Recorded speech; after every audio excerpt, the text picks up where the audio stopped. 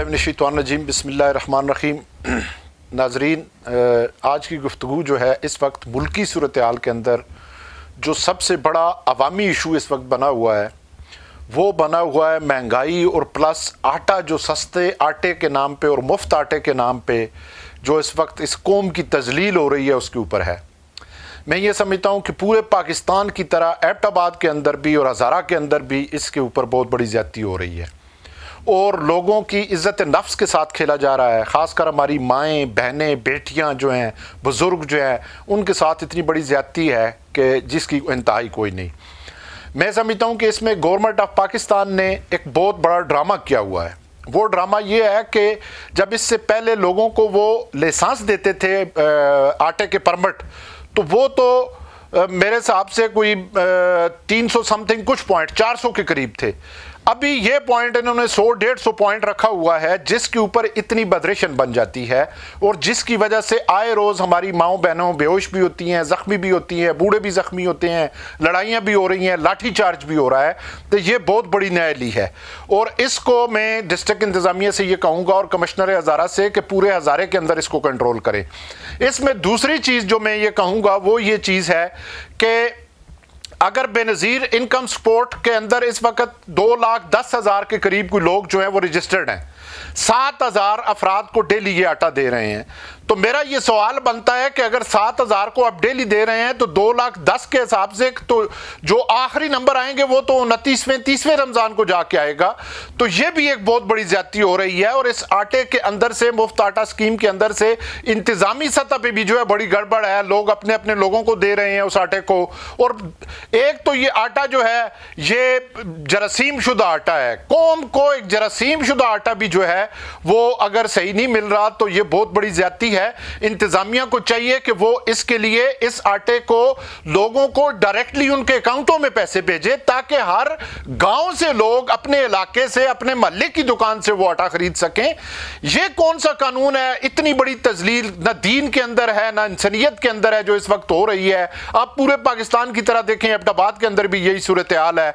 और डिस्ट्रिक्ट इंतजामिया इसके अंदर पूरी तरह से नाकाम हो चुकी है। ना तो डीसी साहब बाहर निकलते हैं, ना असिस्टेंट कमिश्नर बाहर निकलते हैं। बाहर लोगों को रोड पे लोगों को छोड़ दिया है प्लस पुलिस के लिए छोड़ दिया है, और फिर ऊपर से जब रोड ब्लॉक होते हैं तो आवाम आपस में टकरा जाती है। तो इसको ख़त्म करना चाहिए। अगर ये ख़त्म ना हुआ तो हम अवामी हकूक के लिए बाहर हर सूरत में निकलेंगे। दूसरी बात यह है कि प्राइस लिस्ट जो है पहले दौर में यह होता था कि यहाँ पे हमारी प्राइस लिस्ट कमेटियाँ होती थी, शहरियों के ऊपर मुश्तमिल। वो ख़त्म कर दी गई हैं, या फिर उसकी पहली लिस्ट सब्ज़ी मंडी से जारी होती थी। अभी तो डीसी ऑफ़िस के अंदर से जो आड़ती हैं, वो मिली भुगत करके इनके साथ वहाँ से वो लिस्टें जारी करते हैं। अगर एक चीज़ मंडी में सौ रुपए की है तो वो बाहर जब आप मार्केट से जाके खरीदें तो वो तीन सौ रुपए की है। तो इसको कंट्रोल करना किसका काम है? डीसी साहब, आप बाहर निकले एसी वाले कमरे से एसियों को बाहर निकालें। ये हमारे टैक्सों की तनख्वाह आप लोग लेते हैं। बाहर आके रमज़ान में लोगों को रिलीफ दें। कोई रिलीफ यहाँ पे नहीं हो रहा। आप देख ले कि दूध के अंदर मिलावट हो रही है और उसकी कीमत की बात आप देख लें कि कहाँ पे है। केमिकल वाला दूध इस वक्त बिक रहा है। गोश्त का हिसाब आप देख लें कि जो डिस्ट्रिक्ट इंतजामिया ने लिस्ट दी है, कहाँ से वो उस रेट पे गोश्त मिल रहा है। इस वक्त 800 और 900 का रेट चल रहा है। इसी तरह फ्रूट के रेट आप देख लें, सब्जियों के रेट आप देख लें, किसी के ऊपर इस ज़िले इंतजामिया सूबाई गवर्नमेंट की कोई कंट्रोल ही नहीं है। ये तो इस तरह एक, जिस तरह एक बनाना रिपब्लिक बना हुआ है पूरा पाकिस्तान, और कौम को आटे के पीछे लगा दिया गया है। यह बहुत बड़ी तजलील है। मेरा यह मुतालबा है इसके ऊपर कि लोगों को अकाउंटों में पैसे भेजे जाएँ और वो लोग अपनी मदद आपके तात आटा खरीदे, मुफ़्त ना दे, जालम को बच्चों, लेकिन उनको सस्ता करके दे दो, और वो इज़्ज़त नफ्स तो उनकी मजरू ना करो। और मैं ये कहूँगा कि पिछले आप लोगों को याद होगा कि वो हमारा क्राइम मिनिस्टर यहाँ पे आया था, उसने मानसरे में कहा था, मैं कपड़े बेच के आटा दूँगा। तो ये कपड़े बेच के आटा दे रहे हैं, ये देख लें आप, उन्होंने अवाम के कपड़े उतार दिए, अवाम एक दूसरे से लड़ रहे हैं। फिर आप लोगों को याद होगा कि यहाँ पे वो उम्मीद है कहर मरियम नवाज़ जब आई थी तो हमारे साथ एक एग्रीमेंट किया गया था। वो अमीर मकाम जो है उसने किया था हमारे साथ एग्रीमेंट कि हम हजारे के अंदर वाफर मकदार में पंजाब का आटा बेचेंगे। उसके ऊपर कोई अमल दरामद नहीं हुआ। हमने कम्प्लेक्स की बात की थी, उसके ऊपर कोई अमल दरामद नहीं हुआ। इसी तरह हमने अपना जो है कैंटोनर बोर्ड के एरिए की बात की थी। इसी तरह खाना काश के इंतकालों की बात की थी। इसी तरह इनकम टैक्स की बात की थी जो एफ़ बी आर ने लगाए हुए हैं।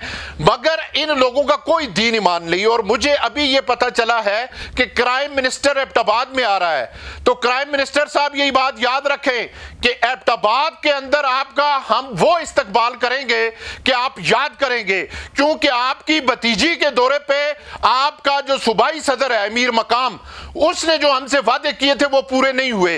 अगर आपने एबटाबाद के अंदर अपना दौरा रखा तो हम आपका इस्तकबाल गंदे अंडों, गंदे टमाटरों और इनशाला छितरों के साथ करेंगे।